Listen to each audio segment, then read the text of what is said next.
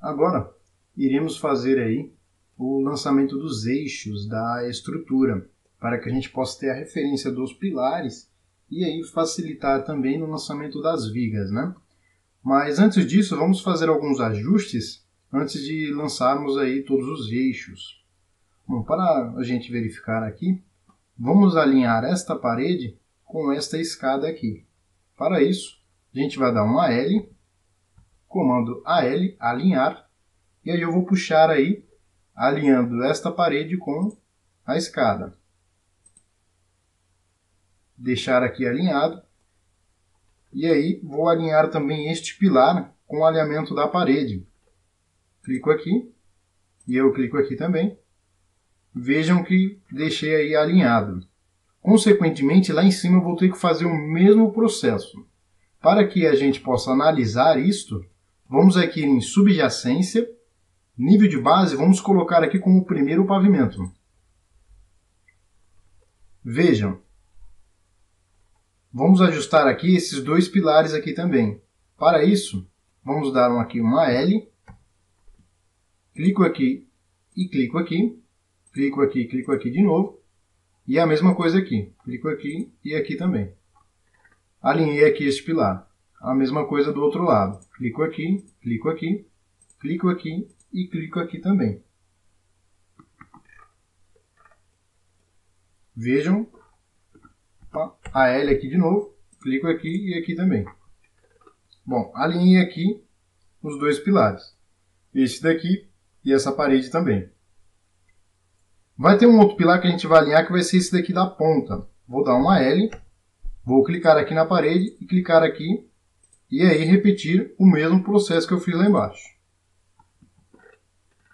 Vejam, alinhamos aí os pilares aqui de baixo. Agora vou fazer o mesmo procedimento lá em cima. E para isso vou tirar a subjacência, para não me confundir posteriormente. Coloco nenhum, ele vai apagar aqui para mim. E aí eu vou lá agora no primeiro pavimento. E agora vamos identificar a subjacência do térreo, para que a gente possa analisar aí melhor como foi lançado lá embaixo também. Vem aqui, subjacência, nível de base, coloca aqui térreo. Aí eu vou conseguir identificar as mudanças que eu tenho que fazer aqui em cima. Começando por aqui. Dou uma L, vou clicar aqui e aqui, vou alinhar com o de lá de baixo, e aí vou repetir o processo aqui também. Mesma coisa. Posso clicar aqui e verificar se a parede ele está entrando no pilar. Se sim, clico aqui e retiro.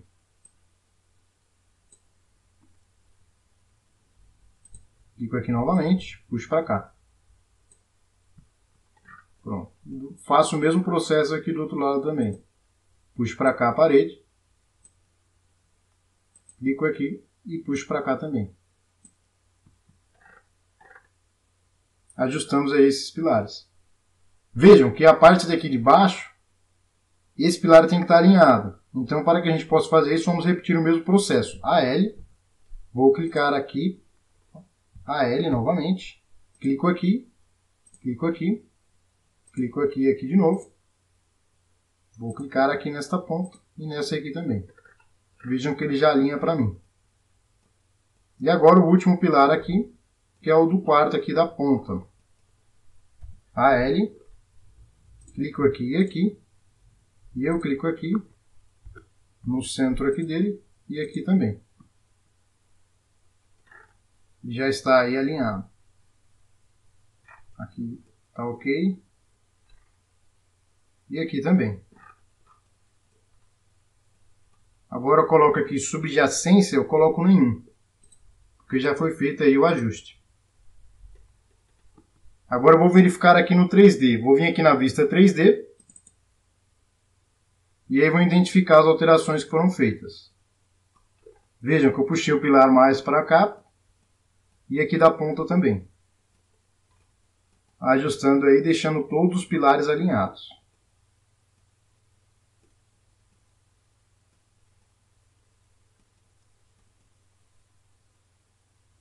Certo, vamos lá agora no térreo. E agora vamos efetuar aí o lançamento dos eixos que, se, que servem para nós como referência né? Para a gente poder identificar aí todos os pilares e facilitar no lançamento das vigas também. Para que a gente possa lançar os eixos, tem aí dois caminhos bem simples. O primeiro é a gente vai vir aqui em arquitetura, clico aqui, ou posso vir em estrutura também.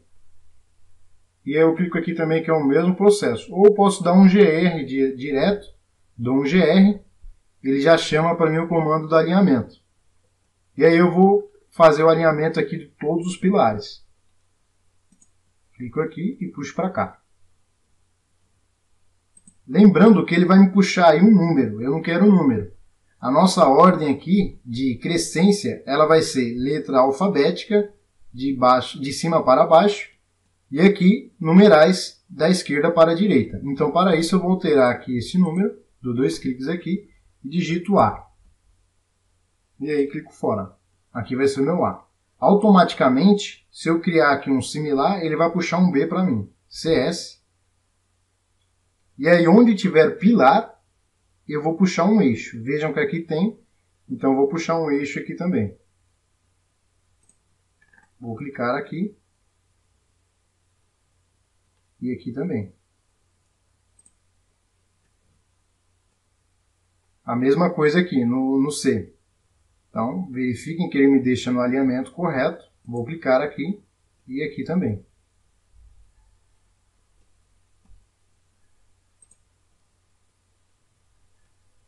no D também.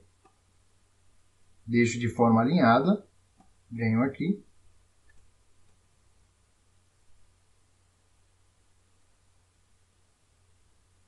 Clico aqui e puxo para cá.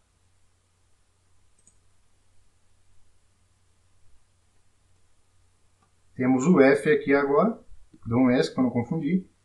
Deixo aqui no meio do pilar, clico aqui e puxo para cá. Bom, o E na verdade, né? Clico aqui agora. E agora o F aqui puxando a linha central aqui deste pilar. E vou clicar aqui e puxar para lá também.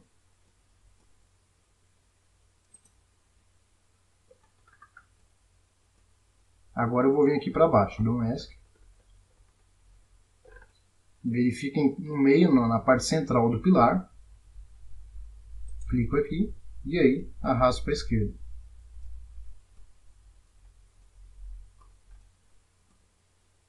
Deixei ele alinhado, puxo para cá. O H também vai ser a mesma coisa. Vou clicar aqui e puxar para cá. E aí com os outros aqui também. Clico aqui puxo para cá.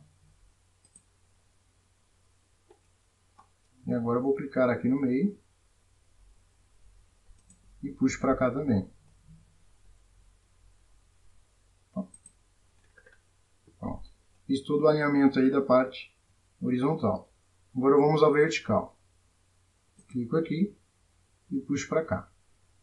Aqui eu vou querer em número, então é somente alterar aqui. Vou clicar aqui na letra, dou dois cliques e digito 1.